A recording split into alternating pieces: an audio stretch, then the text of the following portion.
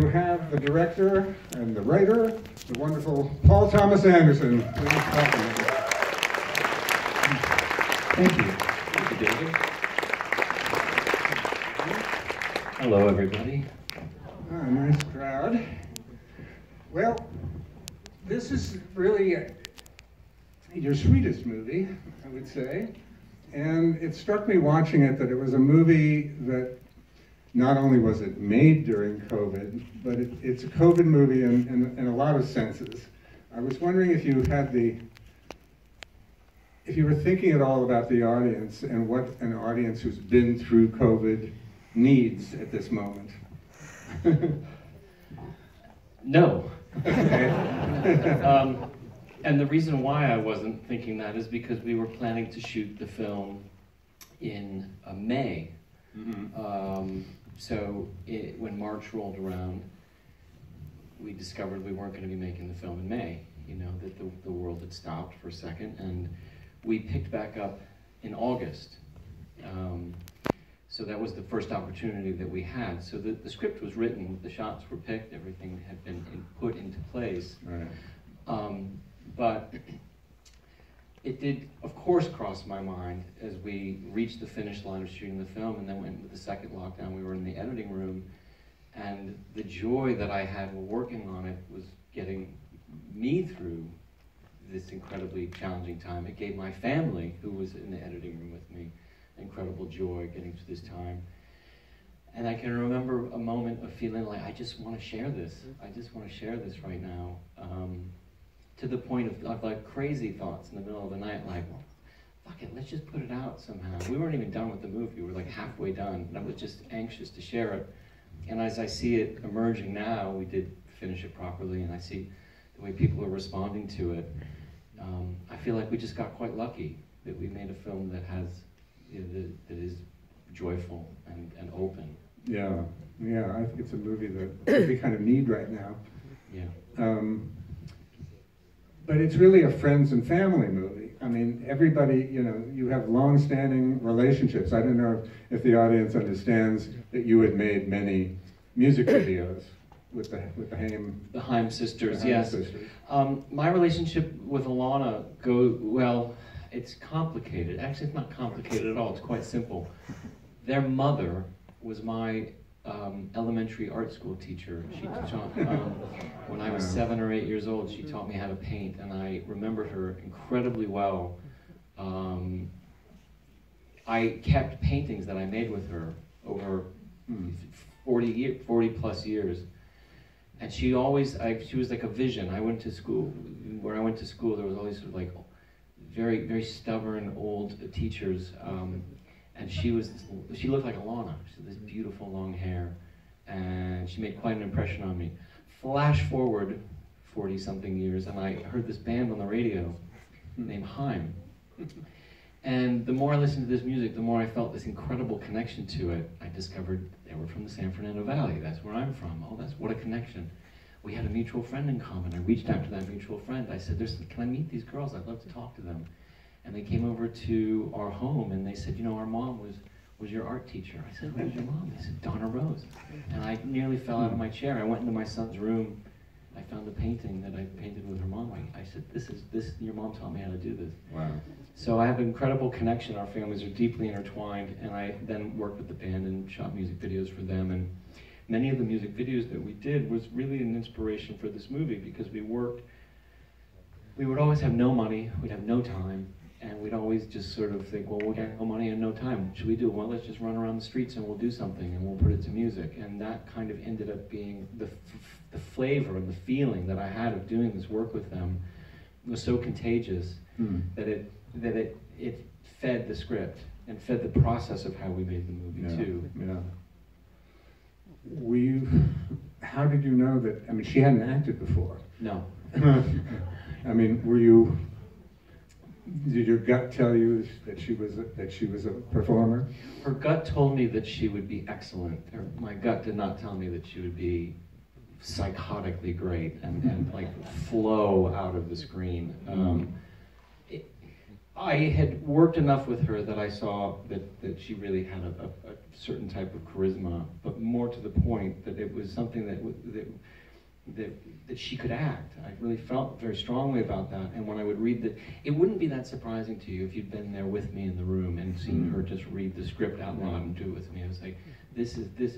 If, if, anything, I had to check myself to make sure that what I was seeing was accurate. And we've, a lot of us have worked together on the crew for like 20 years, and I would I would really have like a system of checks and balances just to make mm-hmm. sure. You know, there's a long history of directors who like delusional when it comes to certain like female performers or something like that. I was like, is she really? I, she's like popping off of the screen in a way that I never. like. it's, uh, am I am I seeing this? And they're like, no, we see it too. She's really yeah. that good. Yeah.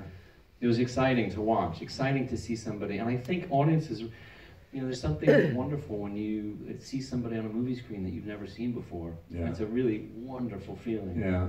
Well, the movie's filled with, with fresh faces. Yeah. Uh, I mean, did you did you test her with Cooper Hoffman to see if the chemistry was there? Well, kind of. You know, what I did uh, initially was that I, I gave Alana the part very quickly, and I said, well, now we have to go find a Gary. And we auditioned actors in the traditional way, young actors. Um, and nothing seemed quite right. Nothing, nothing was, was, you know, it just wasn't right. I suggested Cooper, who I've known since he was a baby he's Phil's son. And Alana knew him a little bit because I'd introduced them, and they they'd spent some time together. And all the Haim sisters thought that that's a really good idea. You should pursue that. And when the two of them got together and they read it together, it was it was one of those you know kind of classic movie moment stories. Where you just think like, this is really good. They're really really good together. Or they were really awkward actually when they first read it. It was not very good. It was kind of, but it was it was so much to work with. Yeah. It was kind of the, the, just the right amount of good. Um, it, was encouraging that there was something to do. And many of the actors that we had read with, it was it was all it was perfect, and it was that was kind of irritating. Like, well, this is this feels doesn't feel right. It doesn't feel natural. And they connected to each other quite strongly. And we did it again the next day and the next day. And, and then, yes, we did do a traditional screen test. So it was one thing to sort of be alone in your room or with an iPhone or something like that. But we, okay, well, let's do it with a real movie camera with real lights. And the first screen test that we did, we went to a deli in Tarzana where I live. And we didn't close down the deli. We just sort of asked them to just give us a booth and let business go on. And so they could get a sense of life going on. And, and it was a very, very successful screen test. They did really, really, really well. And then they kept, and we did another one and uh, they did really, really well. And then we got to the first day of shooting, and they just like froze, like deers in the headlights, like which was great because it was the Bradley Cooper stuff that we did first, and then 24 hours later they were fine, you know, and they, they got comfortable, you know. That Bradley Cooper stuff is amazing.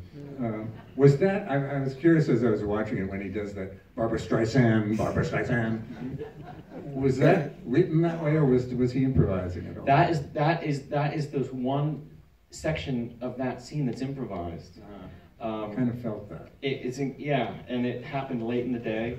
Um, we'd actually shot the whole first half of the scene, which is scripted. They did that, and then we turned around. We waited to turn around to do the back half of it because the light was in the right position. So we kind of revisited the scene. And they were very loose by that point. Bradley was very, very loose by that point, very confident. We'd already gotten the scene, really. And we just needed this one little shot, and that came out of it. Yeah. And how does Jon Peters feel about this movie? Jon Peters is so happy yeah. to have finally been portrayed by Bradley Cooper.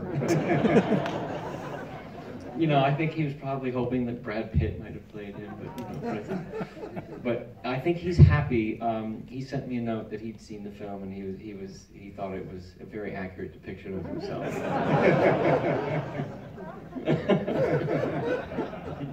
or at least it helps the, the myth, you know, right, kind of right, continue right. on. Well, it's interesting. I mean, you you toy with real people and almost real people. I mean, like the Sean Penn character's last name resembles a very famous actor who was in a lot of Toko movies, yes. but you decided not to use his first name. Yeah, it's a very hmm. schizophrenic sliding scale about where you make a decision about when to use um, a, re- a, real life a person and when not to. Um, William Holden is the basis of that character. mainly because of this film called Breezy that he made Mm. with Kay Lenz and uh, Clint Eastwood directed it, and it was Uh-huh. this May December romance, and I sort of stole something from that. And I know William Holden was, was sort of famous for his exploits in, in, in Africa and, and drinking, and Yeah. he's one of my favorite favorite actors. But I also didn't want to ask Sean to do a wholesale William Holden impression or something like this. right. Um, I think you, you, you kind of navigate that in case by case, like mm, Lucille Ball is Lucille Doolittle, you know, it's just something that takes the curse off and you can kind of, you don't, you don't, you're not chained to an impression or a real life person that you, that you don't have to, um, well, you don't have to be as respectful, I suppose, you know. Yeah, yeah. And the, and your, your main character, Gary, is, I gather, actually based on somebody Well, that's named right. Gary, right? That's right. My, but by the way, that, that that's what I was going to say. But Gary Goetzman is uh, he works with Tom Hanks. He's his producing partner now. But but back up many many years before that, he was Jonathan Demme's producing partner.